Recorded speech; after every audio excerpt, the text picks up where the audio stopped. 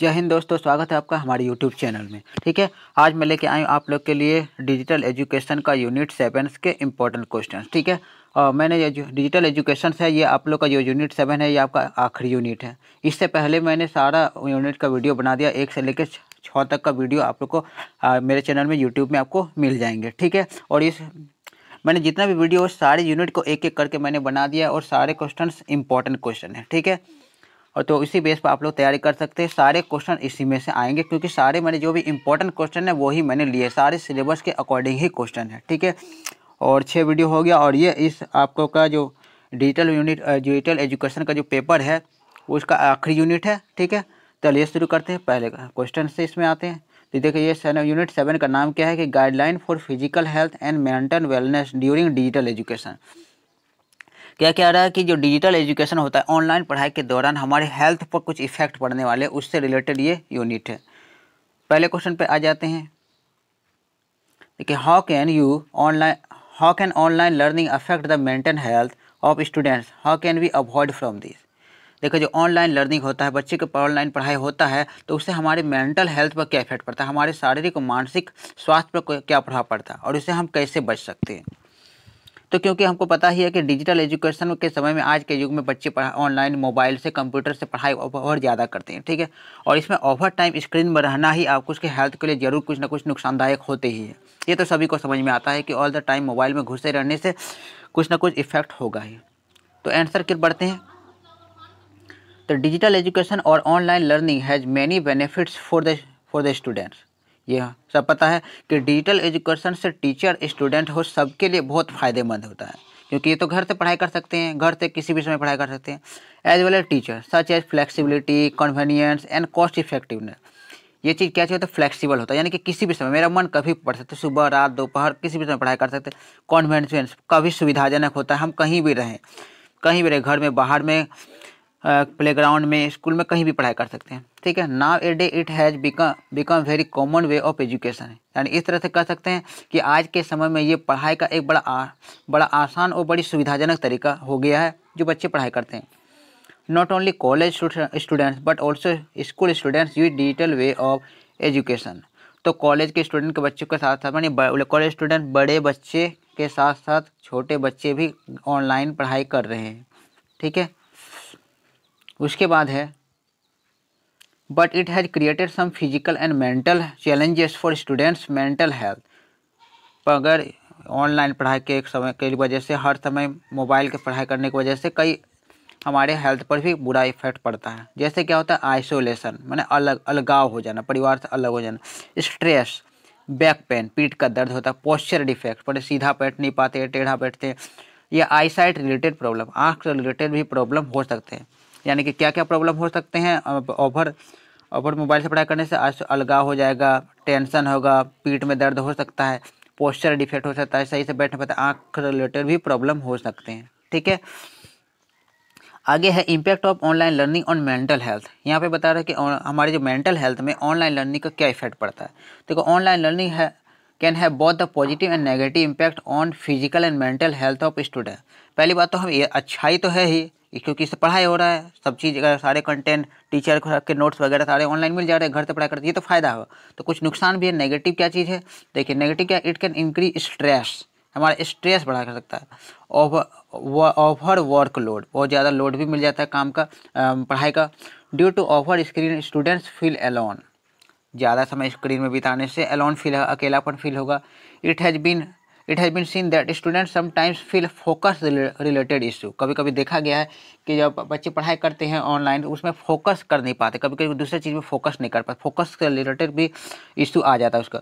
Online learning and screen light is also causing eyesight related and blurred vision issue बहुत ज़्यादा समय में अगर मोबाइल को देखते रहने से कंप्यूटर को देखते रहने से, हमारे आँख से जो आँख को रिलेटेड प्रॉब्लम होता है, हमें ब्लरी दिखाई देता है, धुंधला दिखाई देता है, ऐसे प्रॉब्लम भी देखने को मिल जाते हैं। फिर क्या है कि back pain and cervical pain has also become common problem back pain पीठ का दर्द और सर्वाइकल पेन यानी गर्दन का भी दर्द, ये दोनों प्रॉब्लम भी ऑनलाइन पढ़ाई करने वाले बच्चों में देखने को मिलते हैं। ठीक, देखिए sign of mental health problem क्या क्या हम कैसे बता सकते हैं कि बच्चों में मेंटल रिलेटेड कुछ प्रॉब्लम हुआ है? क्या उसका लक्षण है? तो लक्षण क्या है? It it is normal to experience some fluctuation in your mood and motivation when you are studying online जब आप लोग ऑनलाइन पढ़ाई कर रहे होंगे तो थोड़ा सा मूड चेंजिंग हो सकता है, थोड़ा मोटिवेशन का रिलेटेड इशू हो सकता है। मगर however if you find yourself persistently sad मगर यू, अगर आप फील करते हैं कि आप बहुत ज़्यादा सैड है एनेक्सियर बड़ी चिंता करते हैं इरिटेबल चिड़चिड़ा है होपलेस मैंने लगता है कि उम्मीद नहीं है। इस तरह का प्रॉब्लम भी आपको हो सकते हैं। You may be suffering from mental related problem mental related problem भी हो सकता है, जैसे other sign of mental health issues includes difficulty in concentration concentration में भी डिफ़िकल्ट हो सकता है, ध्यान नहीं लगा पाना। रिमेंबरिंग और मेकिंग डिसीज़न किसी चीज़ को याद करना, वो भी याद नहीं कर पाते डिसीज़न सही से नहीं ले पाते। Change in your sleep sleep से रिलेटेड भी प्रॉब्लम होता है कि सही से सो नहीं पाते। एपेटाइट और एनर्जी लेवल भूख भी कभी कम लगता है, कभी ज़्यादा लगता है। फिर एनर्जी लेवल को लेकर भी प्रॉब्लम हो जाता है कि कम एनर्जी ज़्यादा एनर्जी इस टाइप का लगता है। आगे क्या है? कि tips to cope with online learning health issue ठीक है, यहाँ पर कुछ टिप्स है जो हम ऑनलाइन लर्निंग पढ़ाई जब कर रहे हैं तो उससे हम प्रॉब्लम जो होता है हेल्थ रिलेटेड इशू जो होते हैं, उससे हम कैसे बच सकते हैं। तो to cope with to cope with online learning and improve your mental health it important to create a regular routine and schedule for the your online classes and breaks जब आप ऑनलाइन पढ़ाई कर रहे होंगे तो सबसे ज़्यादा ज़रूरी है कि आप एक रूटीन बना के पढ़ाई करें। और रूटीन के अकॉर्डिंग और उस रूटीन में हर सब्जेक्ट के पढ़ाई को डिवाइड कर दें और उसके बीच बीच में ब्रेक भी होना चाहिए। Your time table routine must have sport time meeting with friends music listening time आप टाइम टेबल ऐसा बनाइए जिसमें आप लोग स्पोर्ट्स खेलने का भी समय होना चाहिए फ्रेंड्स के साथ भी मिलने का भी समय होना चाहिए लिस्टनिंग म्यूज़िक पर। म्यूज़िक भी आप लोग सुने, ठीक है? उसके बाद है always always be connected with family member family member के बाद कनेक्टेड रहें इट हेल्दी डाइट अच्छे खाना खाएँ प्लान वीकली आउटडोर ट्रिप्स सप्ताह में घूम, बाहर घूमने भी जाएँ। We can do daily exercise meditation reading story books है ना? हम क्या कर सकते हैं कि एक्सरसाइज कर सकते हैं मेडिटेशन भी कर सकते हैं स्टोरी बुक भी पढ़ सकते हैं। उसके अलावा क्या कर सकते हैं? Always try to be happy खुश रहने के, सबसे ज़रूरी होता है खुश रहने का कोशिश करें। ठीक है? तो ये हमारा पहला क्वेश्चन का जब अभी तक हम लोगों ने जो दिखा वो पहला क्वेश्चन का आंसर था, ठीक है? अब आते हैं अब लोग दूसरे क्वेश्चन की ओर। ये आपका दूसरा क्वेश्चन है कि how does yoga affect mental health of student अब योगा जो है हमारे मेंटल हेल्थ को कैसे इफ़ेक्ट करता है? मेंटल हेल्थ में योगा से क्या फ़ायदा होता है? जिससे हम मेंटल रिलेटेड इश्यूज़ से बच सकते हैं। Nowadays online learning has become an in different part of every students life आज के समय में ऑनलाइन पढ़ाई एकदम बहुत ज़रूरी हो गया। मैंने बच्चे का लाइफ का एक अभिन्न अंग हो गया।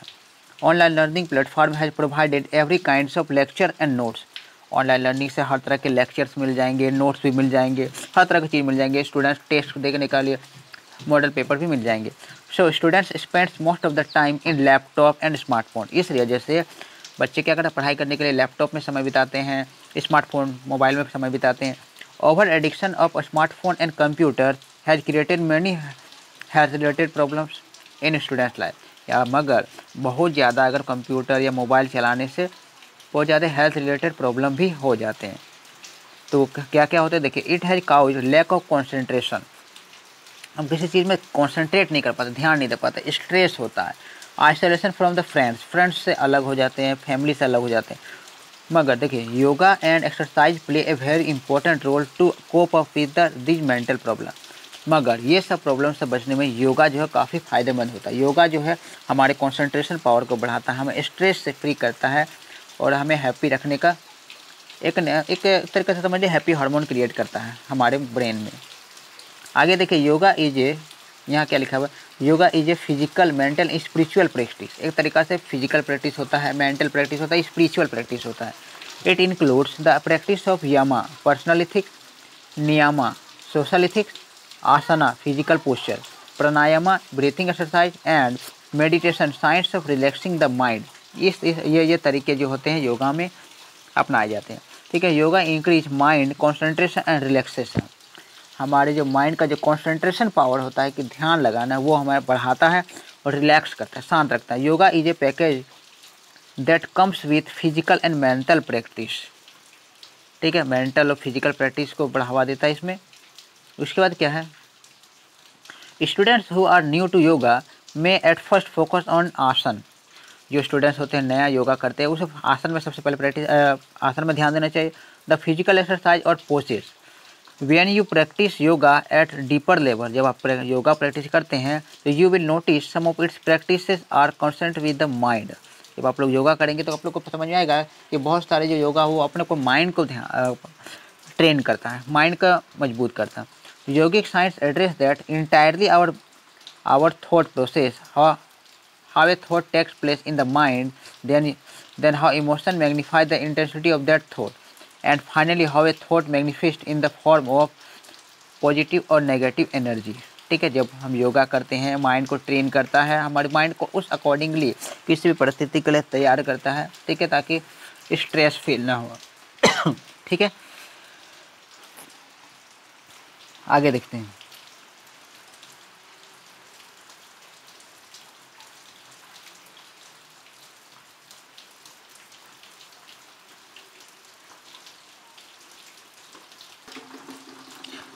देखिए, यहाँ पे क्या है कि the role of yoga in improving mental health हमारे जो मेंटल हेल्थ होते हैं, उसको सही करने में योगा कैसे भूमिका निभाता क्या क्या कर सकता है योगा तो पहले पॉइंट्स पे आ जाते हैं। क्या पहला पॉइंट है प्रमोट माइंडफुलनेस हमारे जो माइंडफुलनेस माइंड के शांति को बढ़ावा देता है। ठीक देखिए mindfulness is about observing the thought pattern of your mind without any judgement और इंक्वायरी यानी कि क्या करते हैं कि जो माइंडफुलनेस हम अपने, जब योगा करते हैं, हम अपने माइंड को समझ पाते हैं कि हमारे माइंड में क्या चीज़ चल रहा होता है। The aim is to quiet the mind यानी कि माइंड को पूरी तरह से छोड़ देते हैं, जो भी सोच रहा है, सोचने देंगे। It reduce anxiety worry and negative thought इससे क्या होता है कि हमारा एनजाइटी होता है चिंता होता है और नेगेटिव थॉट है कम करता है। ठीक है some yogic practice are mindfulness are pranayama and breathing techniques pranayama और ब्रीथिंग टेक्निक्स जो होता है, ये सब चीज़ होता है जो हमारे एनजाइटी वॉरी को और नेगेटिव थॉट्स को दूर करता है। दूसरा पॉइंट है इसमें बिल्ड सेल्फ कॉन्फिडेंस योगा से हमारे कॉन्फिडेंस को बढ़ावा मिलता है, हमें कॉन्फिडेंस ज़्यादा आ जाता है। देखो और yogi practice brings our scattered awareness from the eternal world to insider हमारा माइंड क्या करता है कि इधर उधर दिमाग में भटकते रहता है। हमारा माइंड फैला हुआ रहता है चले तो योगा करने से हमारा माइंड एक जगह में कॉन्सेंट्रेशन करने में हेल्प करता है। एक जगह में हमारा दिमाग आ जाता है।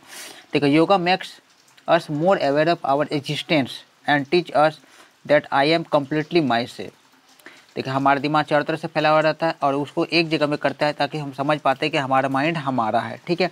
This boost our self confidence इससे हमारा कॉन्फिडेंस भी बढ़ता है। Yoga poses such as planks pose bridge pose and warrior pose strength our mental health कुछ योगा पोज है क्या? प्लैंक पोज है ब्रिज पोज और वॉरियर पोज है। ये हमारे कॉन्फिडेंस को बढ़ाता है। चलिए बढ़ते हैं अगले पॉइंट पे। ये करता है रिड्यूस स्ट्रेस स्ट्रेस को कम करता है टेंशन को कम करता है। Stress due to various reason include anger grief guilt and low self esteem is very common in college student आपको देखने को मिलेगा कि क्या होता है कि बच्चे में ज़्यादा, बहुत ज़्यादा एंगर करते बहुत ज़्यादा गुस्सा करते ग्रीफ चिड़चिड़ा रहते गिल्ट अपने आप को दोषी मानते हैं और लो एनर्जी अपने आप को समझता है कि एनर्जी ही नहीं है। ठीक है, उस समय क्या करता है कि yoga effectively work on uniting the uniting the body and mind as one जब इस टाइप का प्रॉब्लम होता है तो योगा पर काफ़ी अच्छा काम करता है।